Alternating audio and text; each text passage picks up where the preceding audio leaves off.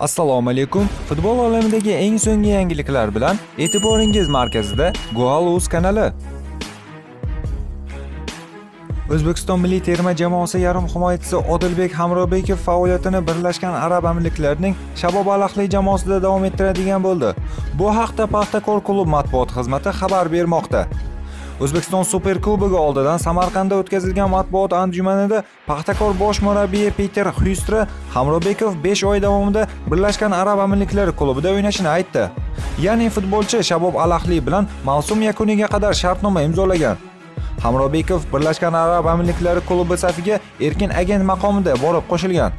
Klub Hamrobekov jarohat olgan Aziz G'aniyevning o'rnini to'ldirish uchun transfer qilinganini yozgandi. Shu tariqa Shabob Alahlida o'zbekistonlik futbolchilar soni 3 nafarga yetdi. O'tgan yili Nasaf futbolchisi Azizjon G'aniyev 700 ming dollar evaziga Shabobga o'tganda, keyinchalik Saudiya Arabistonining An-Nasr klubiga o'tgan Jaloliddin Masharipov Shabob Alahliga ijaraga berildi. Yarim himoyachi Jamol Musiala Bavariya bilan birinchi professional shartnomasini imzoladi. 18 yoshli futbolchi Myunxenliklar safida 2026-yilgacha o'ynaydigan bo'ldi. Avvalroq Musiala yangi shartnomaga ko'ra yiliga 5 million yevro olishi xabar qilingandi. Yarim himoyachi Bavariyada hozirgacha 27 ta o'yinda maydonga tushib, 4 ta gol urgan. Manchester City bosh murabbiyi Pep Guardiola Manchester Unitedga qarshi o'yin oldidan fikrlari bilan o'rtoqlashdi.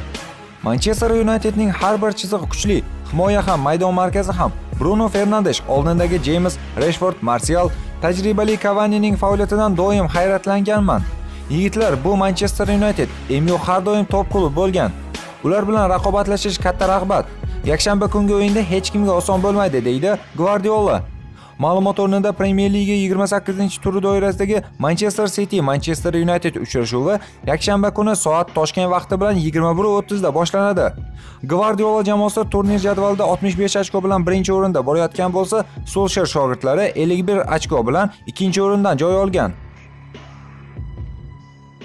Shu o'rinda sizlarga aytib o'tishimiz kerakki, kanalimiz hamkori Mosbet Premier Liga doirasida Manchester derbisida maydon egalarini katta favorit deya hisoblamoqda.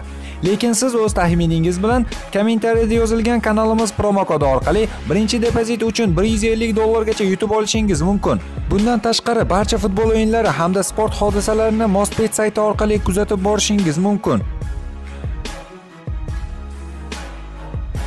Manchester United darvozaboni David De Gea nima uchun jamoa safida emasligini ma'lum qildi. 30 yoshli ispaniyalik futbolchi ilk bor ota bo'ldi. Qizaloqning ismi Yanay. Shu sababli darvozabon Ispaniyaga uchib ketdi.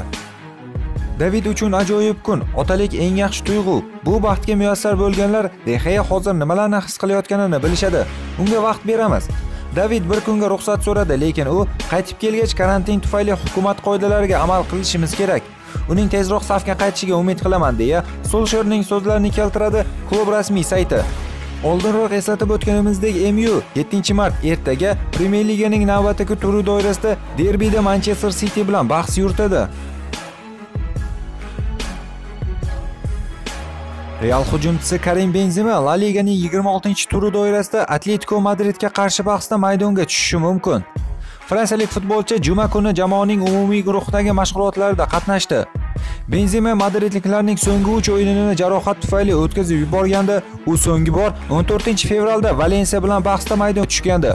Hujumchi bu mavsum La Ligada 21 o'yinda 12 ta gol urgan. Borussia Dortmund Bundesliganing 24-turidan o'rin olgan Bavariyaga qarshi o'yinga jiddiy yo'qotishlar bilan bordi. Yarim himoyachilar Jayden Sancho, Giovanni Reina va himoyachi Rafael Guerrero jamoa bilan Myunxenga uchishmagan. Ommaviy axborot vositalarining yozishicha, ularda jarohatlar bor. Bavariya va Borussia Dortmund o'yini bugun 6-mart kuni bo'lib o'tadi. Bellashuv Toshkent vaqti bilan soat 22:30 da start oladi.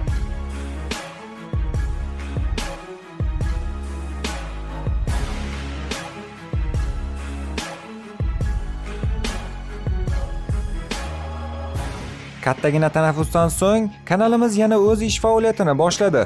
Video so'ngida bizni ko'rib turayotgan obunachilarimizdan kichkinagina bir iltimos. Kanalni qo'llab-quvvatlash uchun ushbu videoga like bosing va kommentariyada yana qanday mavzuda video olishimizni istashingizni yozib qoldiring. Ekran qarshisida Goaluz kanali bo'ldi. Keyingi videoda ko'rishguncha xayr, sog' va salomat bo'ling.